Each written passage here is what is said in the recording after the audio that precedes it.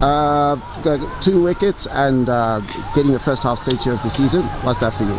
Um, it feels good. Um, I just told myself I just needed to bat through the 20 overs. I was struggling a bit, but I had to be there. Um, as a senior player, I had to take responsibility, even with the ball. Uh, it was unexpected, but I just applied myself. just the basics of bowling, yeah. And uh, your first win of the season after the reversal yesterday.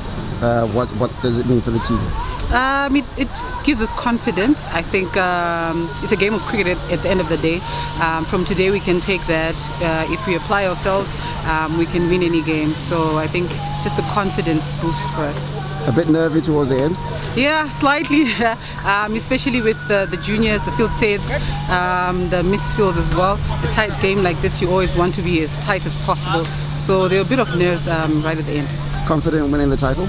Uh, yes, yes. We want to take it a game at a time, though. Um, we know our weaknesses as a, as a team, so we're hoping just to keep progressing as the games come. A bit of a revenge after losing the final? Definitely.